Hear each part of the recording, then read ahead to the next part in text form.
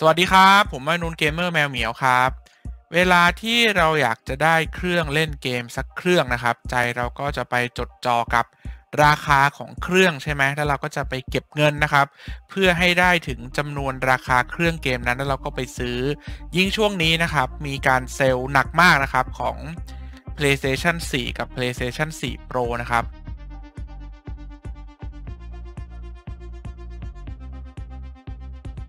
ผมเชื่อว่ามีหลายคนเมื่อเห็นราคามันลดมาเยอะก็รู้สึกว่า โอ้มันน่าซื้อมากๆเลยนะครับ น่าซื้อมาเล่นน่าเอากลับไปที่บ้านทันที ผมก็เป็นคนหนึ่งในนั้นนะครับ ที่คิดแบบนั้นเหมือนกัน เจอของเซลล์ปุ๊บเราดิ่งเข้าไปเลย แต่ว่าในความเป็นจริงแล้วนะครับ ยิ่งเศรษฐกิจแบบนี้นะ นี่เป็นแค่จุดเริ่มต้นนะครับ ของการเสียเงินเท่านั้นเองนะ การซื้อเครื่องคอนโซลมาเล่นที่บ้านนะครับ จริงๆนะเนี่ย มันยังมีรายจ่ายรายเดือนนะครับ ที่เราจะต้องแบกรับอยู่ด้วย แต่แน่นอนนะว่าทุกอย่างที่เราจ่ายไปนะครับ ก็เพิ่มความสุขนะครับ เวลาอยู่บ้าน แต่ว่าวันนี้เนี่ยอยากจะมาฉายให้เห็นภาพนะครับ เผื่อใครที่กำลังคิดว่าจะซื้อเครื่องคอนโซลมาเล่นที่บ้านนะ แล้วก็ อาจจะยังตัดสินใจไม่ได้นะครับ เดี๋ยวเราลองมาดูว่า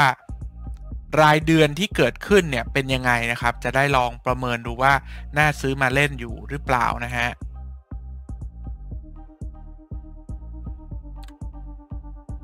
ค่าใช้จ่ายรายเดือนหลังจากซื้อเครื่องแน่นอนนะครับ เมื่อเราจ่ายเงินก้อนหนึ่งไปแล้วใช่ไหมครับ ในการซื้อเครื่อง สิ่งที่ตามมาเบสิกทันทีนะครับ ก็คือก็ต้องซื้อเกม ถูกไหมครับ เกมใหม่เอี่ยมนะครับ ราคา 1,890 บาทนะ ต้องซื้อ PlayStation Plus ในการเล่นรายเดือนนะครับ อีก 99 บาทนะครับ แน่นอนว่าจะเล่นรายเดือนแบบออนไลน์ก็ต้องมีอินเทอร์เน็ตนะครับ ขั้นต่ำก็ถ้าเล่นพอไหวนะครับ ก็ประมาณ 200 บาท 10 เมกนะฮะ แล้วก็อาจจะมีพวกอุปกรณ์เสริมนะครับที่เราอยากได้ต่างๆ ใด ๆ มากมายที่ออกมาหลอกล่อ อันนี้คือ สิ่งที่เราจะต้องจ่ายนะครับ หลังจากที่เรามีเครื่องนี้แล้วนะฮะซึ่งอันนี้ก็ยังไม่รวมค่าไฟนะครับ ค่าทีวี ค่าเครื่องเสียงอื่นใดที่เราจะต้องจ่ายอยู่แล้วหรือว่าเรามีอยู่แล้วนะครับ วันนี้ผมอยากจะมาแบ่งปันนะครับ ประมาณ 4 แบบนะครับ ค่าใช้จ่ายแบบประหยัดสุดๆนะครับ กับค่าใช้จ่ายแบบซูเนโอซูเนโอหน่อยๆนะครับ ว่า เป็นยังไงเพื่อจะได้เห็นภาพกันนะ โอเค นี่นะครับถ้าเราซื้อเครื่องมานะครับ แล้วเราเล่นแบบประหยัดสุดขีดนะครับ ไอเดียก็คือไม่ซื้อเกมเลยนะ แม้แต่เกมเดียวนะครับ แล้วก็ซื้อ PlayStation มาเพื่อที่จะมาเล่นเกม Free to Play เท่านั้น ซึ่งจริงๆ เกม Free to Play ของ PlayStation ก็มีหลายเกมนะครับ ตอนนี้ที่ฮิตมากๆก็จะมี Fortnite นะครับ มี Apex Legends นะฮะ แล้วก็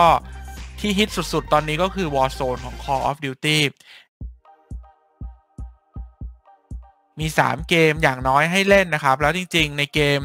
Free to Play เนี่ย มีอีกเยอะมากนะครับ ไปลองกันได้ไปโหลดกันได้ มีเยอะมากนะครับ สามารถที่จะกลับบ้านมาแล้วก็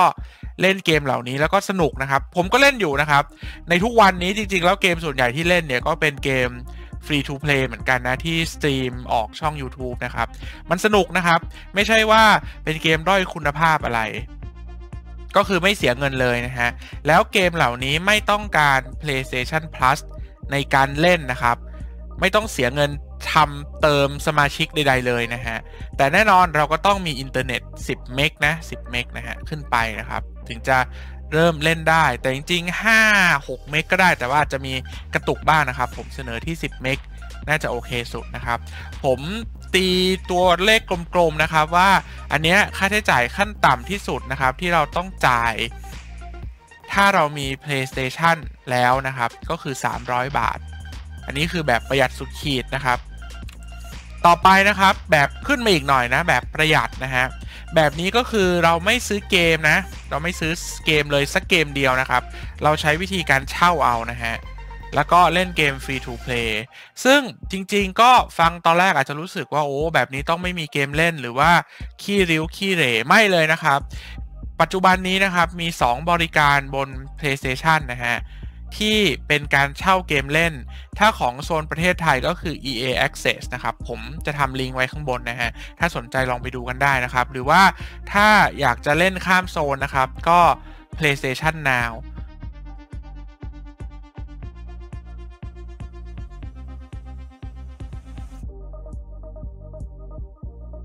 พวกนี้นะครับ รายเดือนนะ เอาตีเป็นเลขกลมๆเนี่ยอยู่ที่ 175 บาท แต่แน่นอนว่านี่คือต้องสมัครรายปีนะครับ ถึงจะได้ถูกขนาดนี้ แต่ว่าอันนี้คือรายเดือนนะครับ 175 บาท แน่นอนว่าจะเล่นเกมพวกนี้นะครับ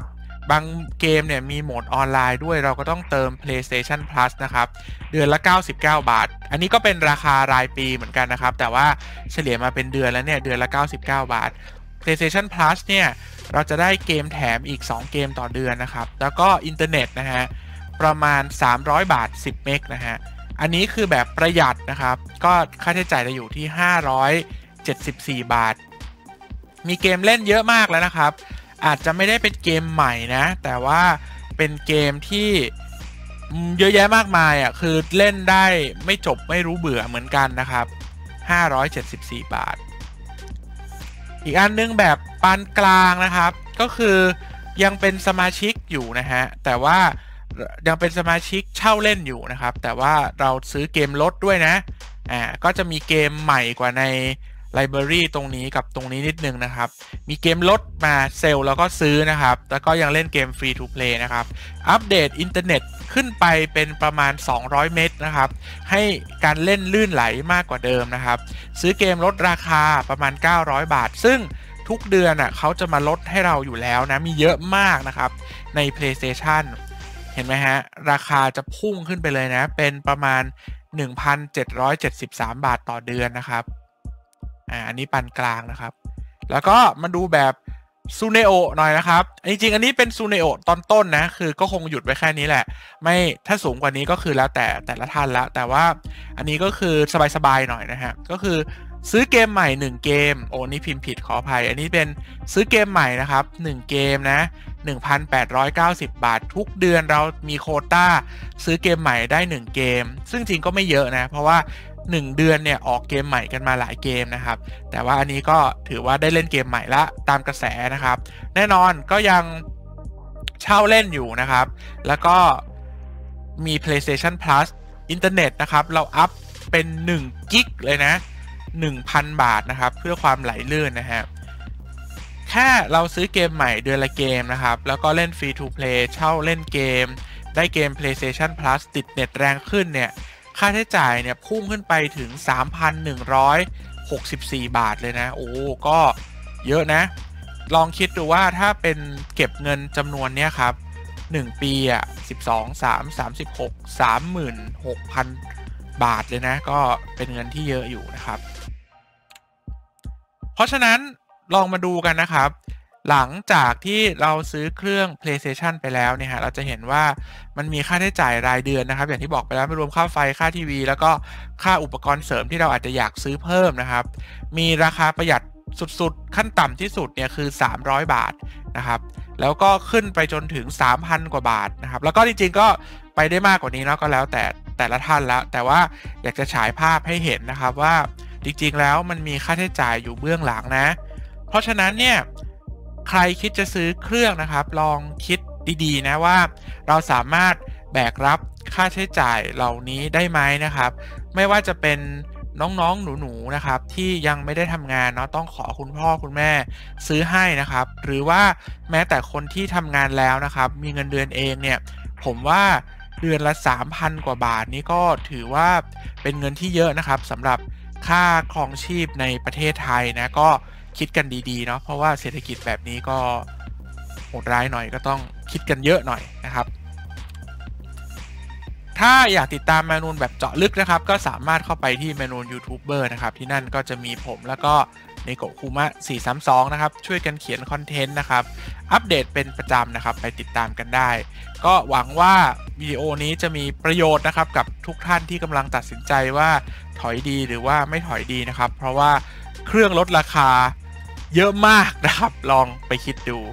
ผมแมวนูวันนี้ลาไปก่อนครับ ขอบคุณที่ดูกันมาจนจบนะครับ ชอบกดไลค์ไม่ชอบกดดิสไลค์อยากดูไปนานกด subscribe กดกระดิ่งกริ๊งกริ๊งสวัสดีครับ